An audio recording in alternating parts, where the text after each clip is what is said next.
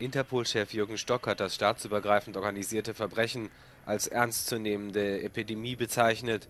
Der Generalsekretär sprach kurz vor dem 100. Gründungstag seiner Organisation am Dienstag. Interpol ist eine weltweit kriminalpolizeiliche Organisation mit derzeit 194 Mitgliedstaaten und Sitz im französischen Lyon. We are currently facing an epidemic of transnational organized crime which is undermining societies, communities and businesses.